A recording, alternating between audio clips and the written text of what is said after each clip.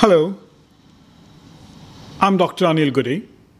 I'm a consultant in reproductive medicine and surgery, and today I'm going to talk to you about another very interesting topic. This may help us to understand and clear many of the doubts that we have of stimulation of the ovaries.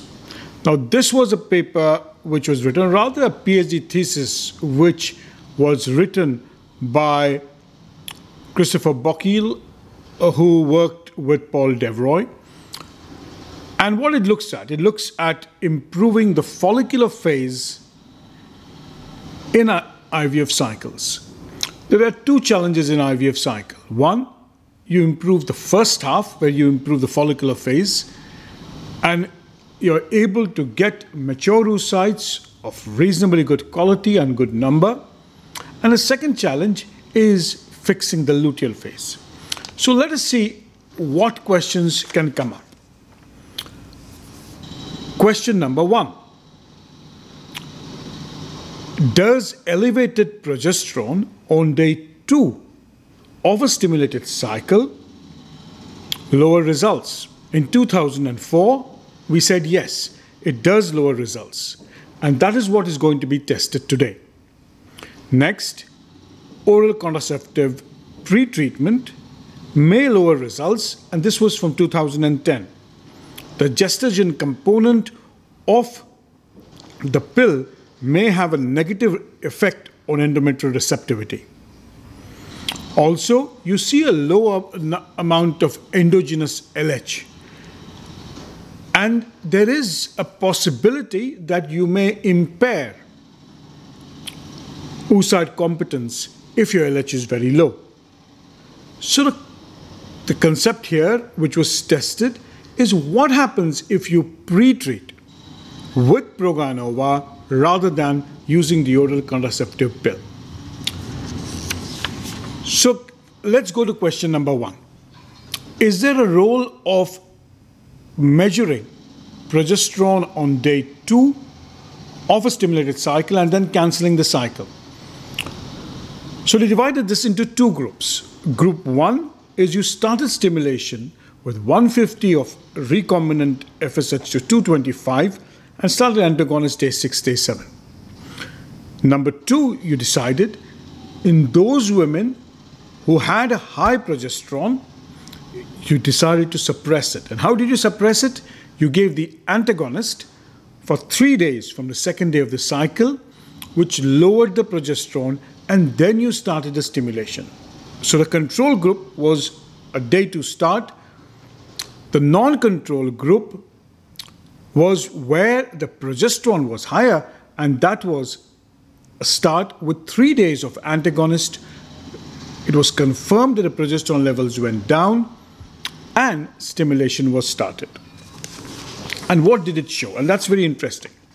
484 patients Abnormal progesterone on day 2 were noted in 30 patients.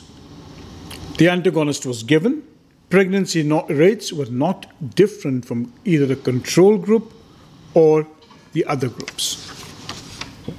He did a second thing. He said, well, in just let's look at the start of antagonist on day 2 as a pre-treatment.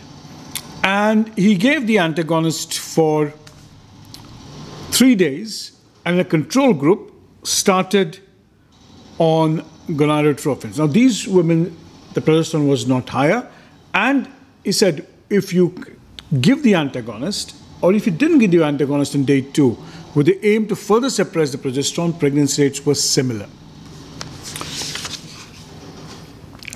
The second thing is about estrogen pretreatment.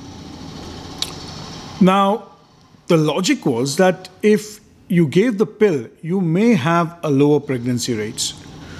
So the control group was a normal start on day two of the treatment.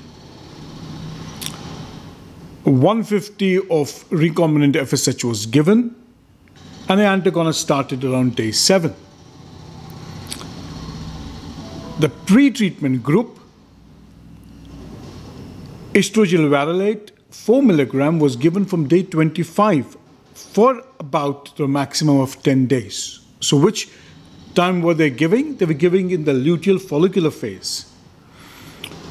The pill was stopped and stimulation was started with 150 of FSH, and later on the antagonist was started.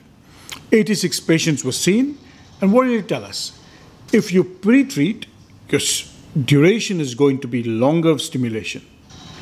You also use less of FSH, and the proportion of women going in for a weekend egg collection is significantly reduced. Pregnancy rates are exactly the same. So let's go back.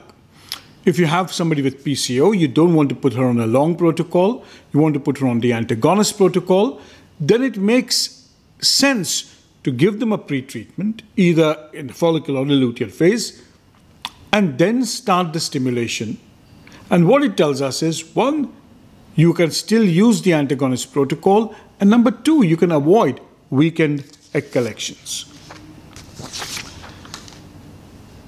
The concept three, if you delay the FSH, now what is it called? It's called prolonging the follicular phase. What happens? So they looked at one start, which was a day two start of the period,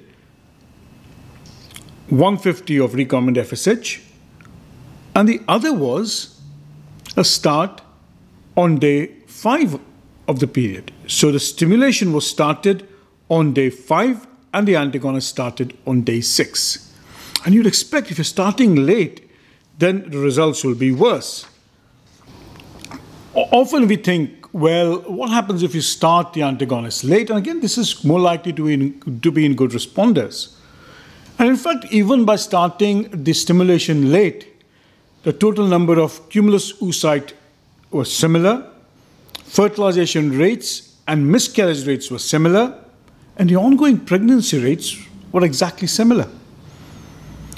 Now, there's something more we learn from this that if you start the gonadotrophins on day two, then your LH levels are going to be higher. Now, theoretically, where can you use this?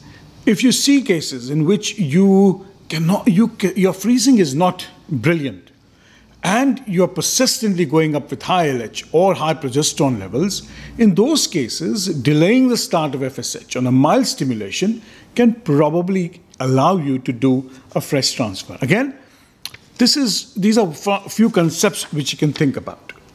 Next, you must have heard of Filicori, who came up with this concept that you can replace HMG with HCG. If you go deeper into the understanding of pharmacology of the drugs that we use, you realize that a large amount of LH does come from placental HCG sources, but that's a completely different discussion. So what did they do in this case? They gave 200 of recombinant FSH from day 2 and continued as a normal cycle with the antagonist on day 6 or day 7. In the low dose HCG group, they did something different.